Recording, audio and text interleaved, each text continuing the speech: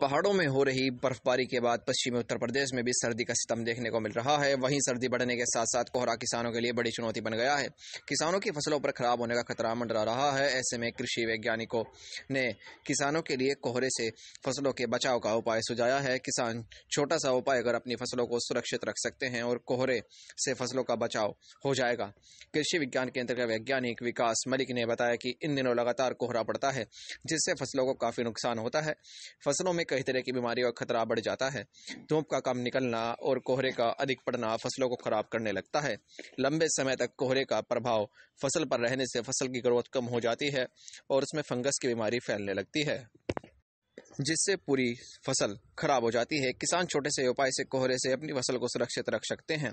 कृषि वैज्ञानिक विकास मलिक ने बताया कि आलू, सरसों, गेहूँ व अन्य फ़सलों को कोहरे से सबसे अधिक नुकसान होता है। बीमारियों का खतरा अधिक बढ़ जाता है। ऐसे में सुबह के समय इन फ़सलों को दो तीन दिन के अंतराल पर सिंचाई करते रहें, जिससे कोहरे का प्रभाव फ़सल पर न पड़े और फ़सल की अच्छी पैदावार हो सके, जिससे किसानों को किसी तरह का नुकसान न हो। वहीं किसी भी तरह की फ़सल संबंधी समस्या को लेकर खेगड़ा कृषि विज्ञान केंद्र पर निःशुल्क वैज्ञानिकों से सलाह ले सकते हैं।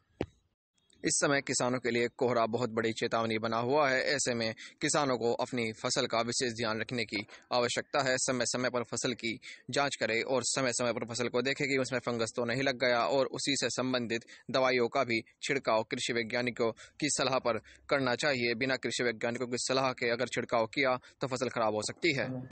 जो हमारी फ़सलें हैं, उनमें यदि हम उत्पादन की दृष्टि से या पौधे की वृद्धि की दृष्टि से हम देखेंगे तो वो दोनों ही दृष्टि से कोहरा हमारी फ़सलों के लिए उतना ज़्यादा लाभकारी नहीं होता है।